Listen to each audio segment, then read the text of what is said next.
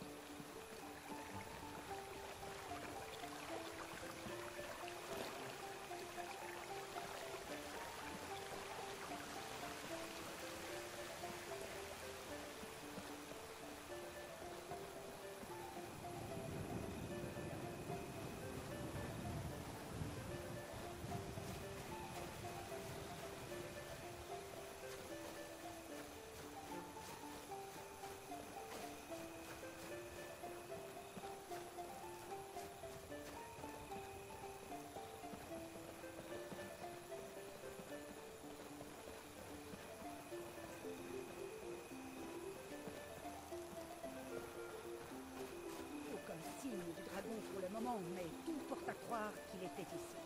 Je sais que les choses n'ont pas l'air d'aller au mieux, mais nous devons découvrir ce qui s'est passé. Et si ce dragon rôde toujours dans les parages. Dispersez-vous et partez à la recherche d'éventuels survivants. Nous devons savoir à quoi nous en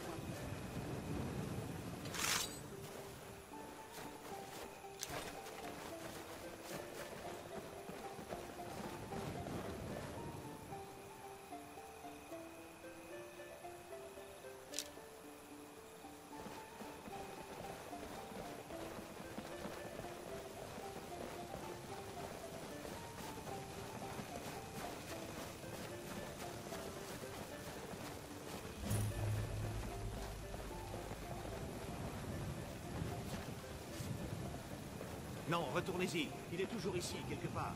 Il vient d'attraper Rocky et Thor, qui essayaient de s'enfuir.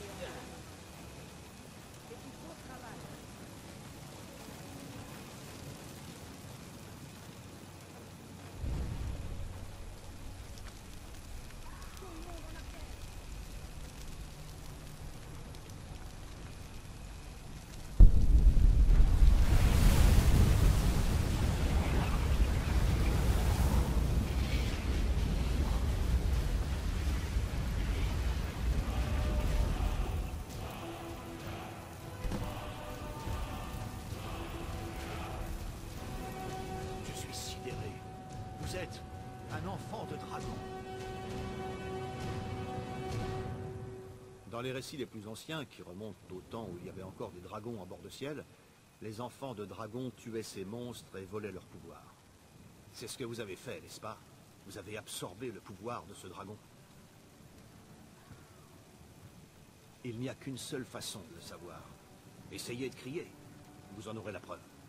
Selon les vieilles légendes, seuls les enfants de dragons peuvent crier sans entraînement. Tout comme les dragons.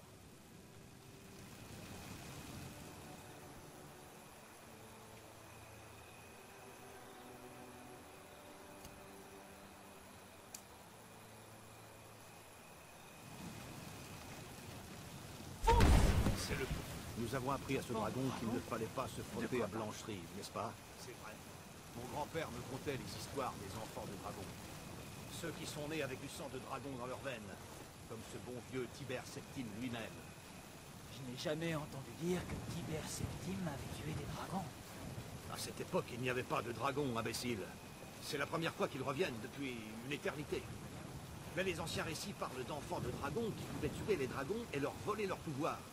Vous devez en étreindre. Qu'en dites-vous, Irilette? Vous êtes terriblement silencieuse. Allons, Irilette, dites-nous. Croyez-vous à ces histoires d'enfants de dragons?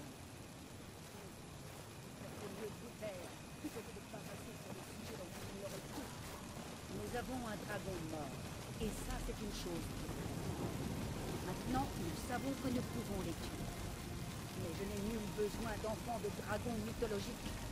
Quelqu'un capable de terrasser un dragon me suffit largement. Vous ne comprendriez pas, Giscard. Vous n'êtes pas ordinaire. J'ai parcouru Tamriel de long en large. J'ai vu des milliers de choses au moins aussi exotiques. Je vous conseille de faire confiance au bras qui tient votre épée plutôt qu'aux fables et aux légendes. Vous venez de crier à l'instant.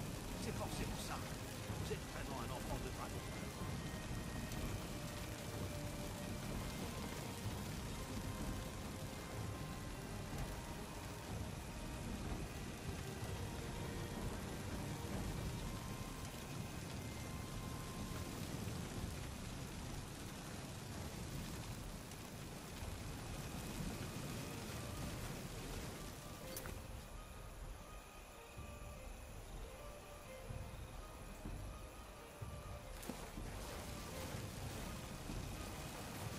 Je suis fier d'être votre frère d'armes, enfant de dragon.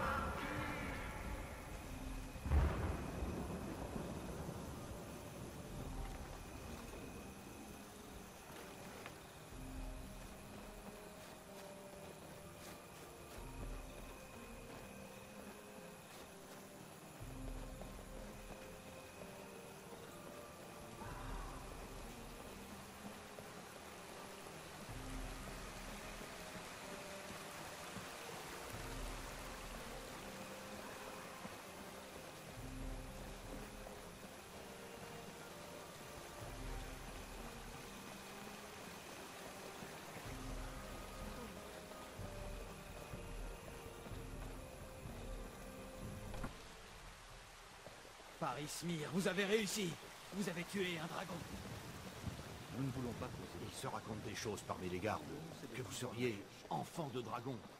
Mais sûrement, c'est pas possible.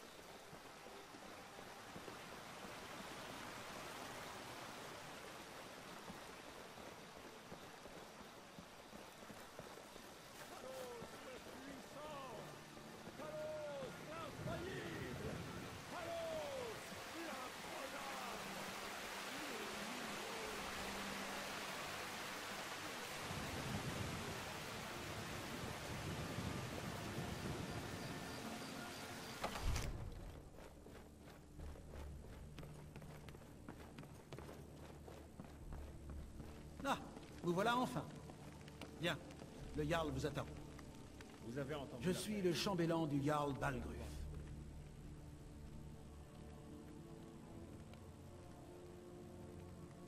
Profitez bien de votre séjour à Fort Dragon. Nous parlions justement de vous. Mon frère aimerait vous dire un mot. Que s'est-il passé à la tour de garde? Le dragon était-il là? Je savais que je pouvais compter sur Irilette. Il doit y avoir autre chose. Enfant de dragon? Que savez-vous au sujet de l'enfant de dragon? Alors c'est vrai. Les grises barbes vous invoquaient bel et bien. Les maîtres de l'art de la voix. Ils vivent reclus au sommet de la gorge du monde. On dit que l'enfant de dragon possède un don unique pour la voix. La possibilité de concentrer son essence vitale dans un tout oum, un cri. Si vous êtes vraiment enfant de dragon, ils pourront vous apprendre à utiliser votre don. N'avez-vous pas entendu le bruit assourdissant qui a retenti à votre retour de Blancherive C'était la voix des Grisbarbes qui vous demandait de venir au Haut Rodgar. Cela ne s'est pas produit depuis des siècles au bas mot. Pas depuis que Tibère Septime en personne a été invoqué alors qu'il était encore Talos d'Atmora. Du calme, mon gars. Qu'est-ce que ces histoires de Nordiques ont à voir avec cette personne? Elle est peut-être très capable, mais je ne vois aucun signe que ce soit une, une enfant de dragon. Des balivernes nordiques? Espèce d'ignorants pompeux. Ce sont nos traditions sacrées qui remontent au temps de la création du Premier Empire. Il ne faut pas être aussi dur avec Avenichi, Rongar. Sans vouloir vous manquer de respect, bien sûr. Je me demande juste ce que ces grises barbes lui veulent.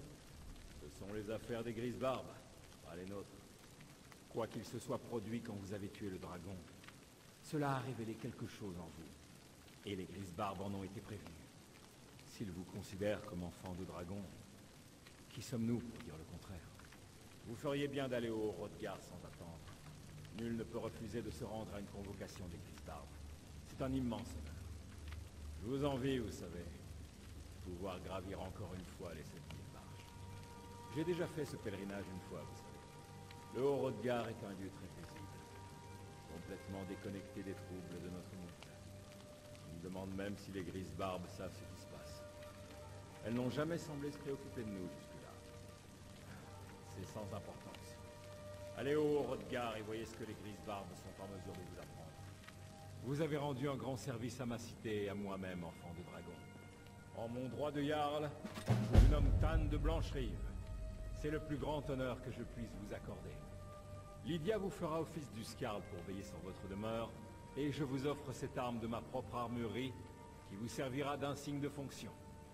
Je vais également prévenir mes hommes de votre nouveau statut. Il ne faudrait tout de même pas qu'ils vous traitent comme le reste de la plèbe. C'est un honneur pour nous de vous avoir pour Tan, enfant de dragon. Revenons à nos moutons, Proventus. Nous avons encore une ville à défendre. Oui, Seigneur.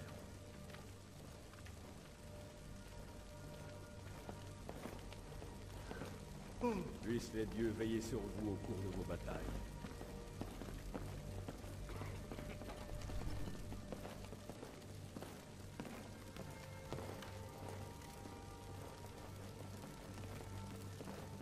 Il se raconte des choses parmi les gardes. Vous seriez enfant de dragon. Longue vie à vous.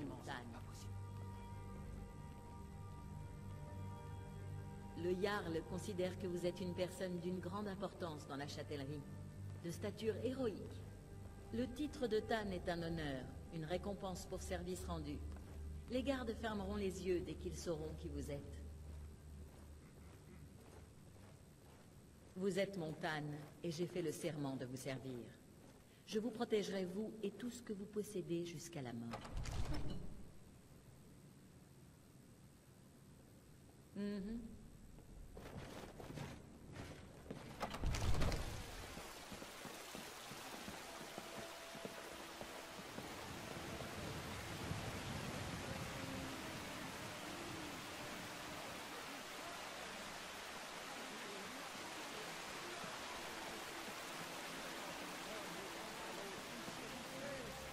Il a vu en nous, en chacun de nous, le futur de port de ciel C'est pas vrai Rorikbourg est un joli petit hameau, mais un poste très ennuyeux. Si un dragon attaque, alors... Le Vermidor, oui. Il fait peine à voir en ce moment. C'est davantage un problème pour les pèlerins que pour moi, mais déjà qu'ils se font rares. À l'est d'ici se trouve un bosquet caché abritant le Primarbor. Rien n'est plus ancien que lui en bord de ciel, voire même dans tout Amriel. L'arbre de notre ville est issu de cet arbre. La gloire de l'arbre mère circule toujours à travers lui. Même son nom y fait référence. J'y ai bien réfléchi. Les arbres de ce genre ne meurent pas vraiment, disons qu'ils végètent. Si nous pouvions obtenir de la sève de son arbre mère, cet enfant se réveillerait. Mais même si vous arriviez à atteindre le prime arbor, vous ne pourriez pas l'inciser. Aucun métal commun n'en a la capacité. Le prime arbor existait déjà avant le métal. Il préexistait aussi aux hommes ou aux elfes. Il faudrait vous adresser aux arfreuses. On dit qu'elles utilisent une arme spéciale pour leur sacrifice de Spriggan. Une arme appelée Fléorti. Si les arfreuses ne me terrifiaient pas autant, je serais sans doute allée la chercher moi-même. Vous êtes une âme forte. Le souffle de Kinaret guidera vos pas. Il se trouve dans un nid de harfreuse, le rocher orphelin.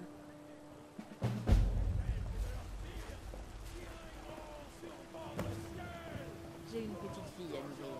Et vendre mes produits est la seule chose qui m'intéresse. Guerrier file-moi ton argent. Je- J'ai pas de sous. Donne-moi immédiatement 5 septimes ou je t'éclate le nez. Non, s'il te plaît. J'ai vraiment pas de sous, Brett. Je te donnerai 10 septimes demain si tu veux. Mais me tape pas. 10 septimes demain, guerrier né. Sinon, je t'éclate le visage. Qu'est-ce que vous regardez? Vous me faites pas peur, vous savez Même si je suis plus jeune que vous.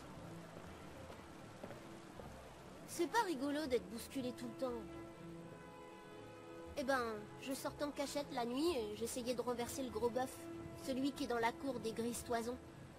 Mila et moi, on escaladait le toit de Fort Dragon pour aller chercher des œufs d'oiseaux. Mais j'ai arrêté de faire tout ça.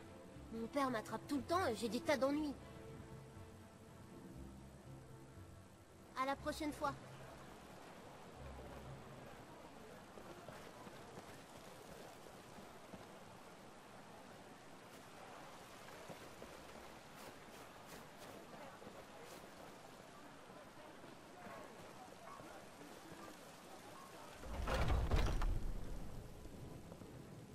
Dites-moi, croyez-vous au puissant Arkeil, dieu du cycle de la vie et de la mort?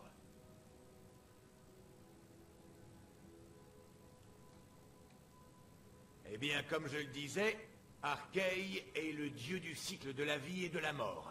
Vous trouverez des temples et des nécropoles qui lui sont consacrés dans tout Amriel. Nous autres prêtres d'Arkeil effectuons les rituels mortuaires et parfois nous réconfortons les proches. Nous montons aussi une garde constante contre ceux qui pratiquent la nécromancie.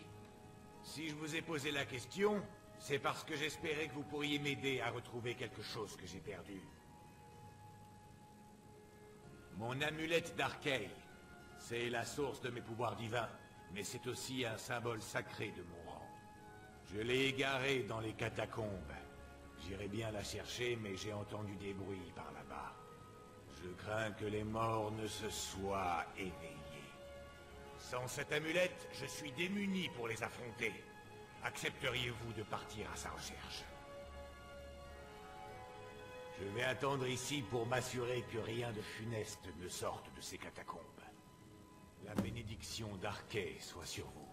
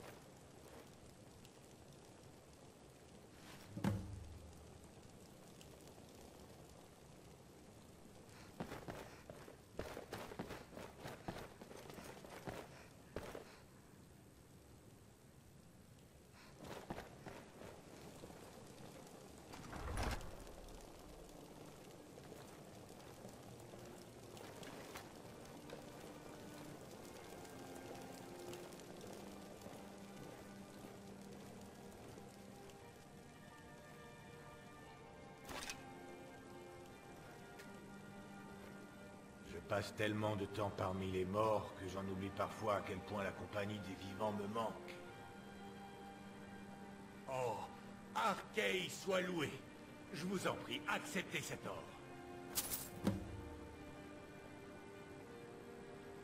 La bénédiction d'Arkay soit sur vous.